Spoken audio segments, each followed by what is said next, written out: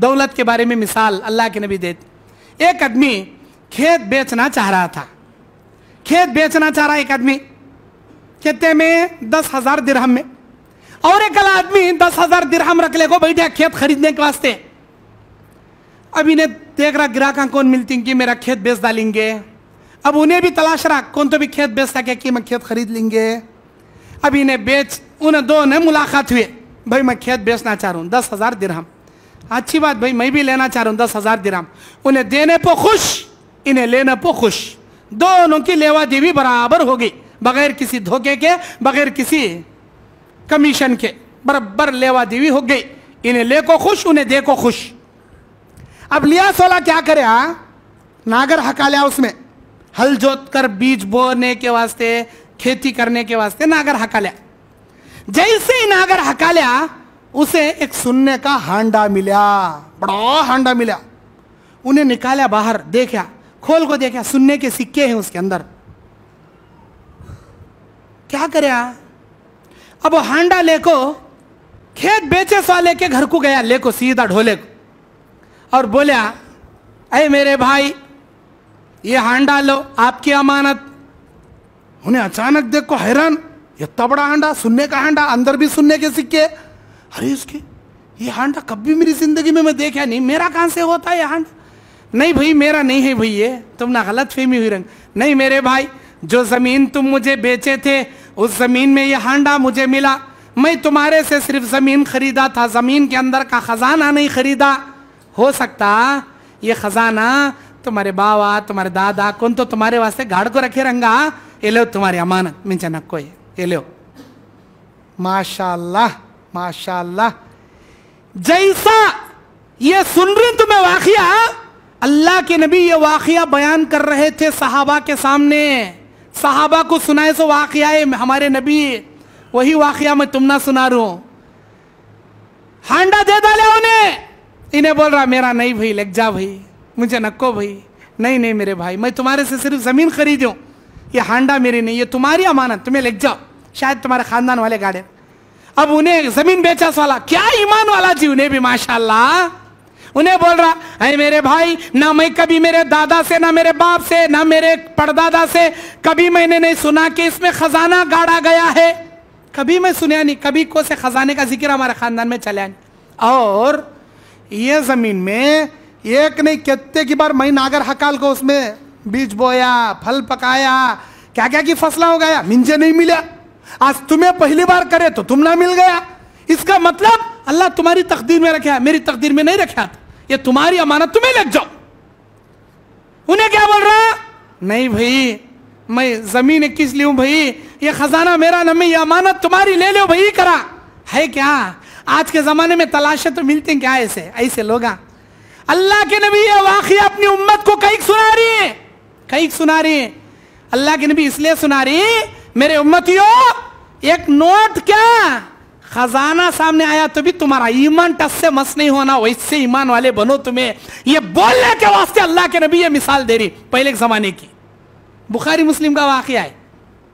हुआ क्या? इन्हें बोल रहा मिंजन को उन्हें बोल रहा, मेरी हमें तुम्हारी अमानत तुम्हें रख लो। अब दोनों रखने तैयार नहीं। अब इन्हों दोनों खाजी के पास गए। खाजी फैसला करने वाला हाकिम हुआ करता था। उस खाजी के पास गए, फैसला कराने। इनो बोल रही, खाजी साहब, मैं ज़मीन बेच डाला। ज़मीन बेचा, ज़मीन में के मट्टी, फतरे, कचरा तोटा सब भी बेच डाला। अब उसमें कहा वो मेरा, ये तेरा, नहीं नहीं, सब भी ज़मीन के साथ सब कुछ बेच डाला। मेरा उसमें क्या अभी नहीं? उन्होंने क्या बोल रही है नहीं खाजी साहब, मैंने सिर्फ़ ज़मीन खरीदा है, ज़मीन के अंदर का खजाना नहीं खरीदा। मैं इसका जवाब मेरे अल्लाह को क्या दू? ये अमानत महीने रखता। ज़मीन बेचस वाले को हवाले कर डालो। अब इन्हें देखा इन्हें देखा इन्हें रखने तैयार नहीं, उन्हें रखने तैयार नहीं। खाजी साहब, अल्लाह के नबी इस वाक़े में तीन लोगों के ईमान की तारीफ़ कर रही तीन आदमियों की। एक ज़मीन बेचा सोला, एक ज़मीन खरीदा सोला, तीसरा वो खाजी जो फैसला कराया सोला। क्या बेहतरीन काजी था जी, माशाल्लाह। क्या बेहतरीन काजी जी, माशाल्लाह। आज के जमाने में छन्नी लग छाने तो भी नहीं मिलते ऐसे काजी आज के जमाने में वही से फैसले करने वाले जर्जा वही से हाकिमा वही से अमीर वही से खाजिया छन्नी लग छाने तो भी नहीं मिलते। क्या बेहतरीन काजी था जी। क्या फैसला करे? पूछा। ज़मीन बेचे वाले को, तेरी औलाद है क्या भाई? हूँ, एक कीचक बेटा है, जवान है। ज़मीन खरीदे वाले तेरी औलाद है क्या भाई? हूँ एक बेटी है, जवान है। एक काम करो, तुम्हें दो जने भी जाओ घर को। तेरा बेटा इसकी बेटी को आपस में दिखाओ। अगर तुम्हारे लड़का और तुम्हारी लड़की आपस में राज़ी तो फिर क्या करे खाजी? निकाह पड़ी तगन नड़ी जाओ दिखा लेगा हो गया। इन्हें गए, आपस में दिखाए। आए वापस। क्या भाई? खाजी साहब, मेरा बेटा उसकी बेटी को राज़ी। उसकी बेटी मेरे बेटे को राज़ी। अब खाजी साहब बैठ को निकाह पड़े। निकाह पड़ा को, फैसला क्या करे वो सुनो। हांडा अभी भी हंस पड़ा। फैसला खाजी साहब करे। देखो भाई, अब तुम्हें दो जने समझा समझा हो गई। तुम्हारी बेटी, उनका बेटा निकाह हो गया समझा समझा तुम्हें दो जने समझा तुम्हारी बेटी, तुम्हारी जवई। तुम्हें चार जने मिलको। ये दौलत का खजाना लेको। आजू बाजू खेड़े में कौन कौन गरीबा मिलते, सबको अल्लाह के रास्ते में खाली कर डालो क्या माशाल्लाह, क्या करे जी खाजी, क्या बेहतरीन था जी खाजी वो। अब ये वाकया को यहाँ जर्रा स्टॉप कर को मई। आज के जमाने पर ये वाकया फिट कर को तुम ना मिसाल देख बता तू ये वाकया आज के जमाने में हुआ रहता तो हमारे जैसे कुल्फ कुल्फिया क्या करते थे? सुनो, सोचो। हमारे जैसे दौलत के पुजारी क्या करते थे? अब ज़मीन बेच डालिया कौन की इन्हें ले लिया नागर हकल रहा हकलते हकलते हकलते टन का तवाजा थी कांचक लगता वो हैंडेक लगता. हल्लू रोक डालता रे. मुझ पहले मुझ देख आजू बाजू देख कौन तो देख रहा क्या हल्लू सरका देखता, पीला क्या की चमक रहा पहले मुझ आजू बाजू कौन तो देख रहा कौन भी देख रहा नहीं अच्छी बात. क्या भी आवाज़ करना को? काम करे सरकार करते रहो चुपके. आगे पीछे खिकर ले को. जाको सो जाता। रात होने के बाद, सूरज डूबने के बाद, रात होने के बाद, कंबल ओढ़ले को चंबू ले दौड़ी गए सरकार जाता गाँव के बाहरी ने हल्लू जाग, हांडा काट ले को कंबल में छपा ले को, हल्लू बुढ़ा है सरकार को घर में छपा ले। हम कर लेता। अब कई साकी वो जासूसा के ज़रिए मालूम हो जाता ज़मीन बेचे वाले को। रे, तेरे खेत में से क्या कि हल्लू चंबू यता चता लग जा को, बड़ा बम्बू ढोले गया देख उन्हें क्या कि बड़ा ढोलक गया देख क्या की है देख दाल में काला नम में पूरी दालिच काली उठ लग गई देख। हल्लू से जासूसी के ज़रिए बात पहुँच जाती। उन्हें दूसरे दिन क्या करता? भाड़े के रौड़िया बुला ले को डंडे पुंडे ले ले आता घर को। ए, हमारे बाबा गाड़े से क्या कि ढोले कहा कहते ना रे तू? निकालता नहीं निकालता। हमने बोलता कौन बोले बा तुझे? तुझे कौन बोले? कौन बोले कि मुझे सब मालूम बेटे? जासूसा लगा रखी हूँ मैं। निकालता नहीं निकालता।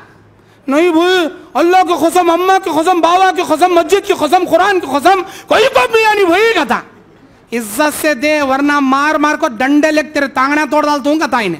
ए, मारता क्या? मार ले बेटा, क्या मारता? कर ले रे। मैं देता नहीं देता नहीं। मेरा वो। अब ले मारा, मारी कोर्ट कचेरी लास्ट को, आज के जमाने में वैसा एक कौन की चोर खासी मिलता। खाजी कहने जाती, दो जने लड़े। अब खाजी खाजी के पास फैसला। खाजी साहब ये दौलत उसकी मैं नहीं लेता। मिंजे नको ये दौलत। उन्हें खरीदा वाला ये उसे दे डालो। मिंजे उन्हें ज़मीन बेचा, उसकी अमानत उनके अम्मा बाबा गाड़ को रखे रंगा, दे डालो। ऐसा क्या? तू क्या बोलता बा? खाजी साहब, ये खजाना हरगिज हरगिज मैं नहीं रखता। मैं ज़मीन भी बेच डाला, ज़मीन के सारे चीजा बेच डाला। इतने साल मेहनत करया मुझे कभी खजाना नहीं मिला, आज उसे खजाना मिला। मैं कैसा रखू? अल्लाह उसकी तकदीर में दिया, मैं नहीं रखता। खाजी साहब उसे दे डालो। अब ये चोर खाजी सुनता, ऐसा क्या? तुझे होना कि नको रे मिंजा नको खाजी साहब। तुझे होना कि नको रे मिंजा नको खाजी साहब। मिंजा होना बाग पहले ढोलक चले आता खाजी। आज के जमाने के खाजी करने हांडा आता तो पहले ढोले के अंदर लग जाता था। अल्लाह के नबी तीन आदमियों के अखलाक, उनके ईमान, उनके अखलाक ईमान की तारीफ़ कर रही अल्लाह के नबी सल्लल्लाहु अलैहि वसल्लम बोल रही मेरे उम्मतियों, सोने का हांडा, सोने का खजाना सामने आने के बावजूद, न ज़मीन खरीदे वाले की नीयत बदली, न ज़मीन बेचे वाले की नीयत बदली, न फैसला करे वाले की खासी की नीयत बदली। मेरे उम्मतियों, ऐसा ईमान अपना बनाओ।